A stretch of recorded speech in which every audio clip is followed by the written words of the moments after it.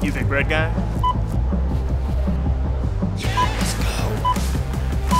We've got you covered 365 days a year. The WRAL Severe Weather Team certified most accurate for severe weather and everyday weather. That's weather coverage you can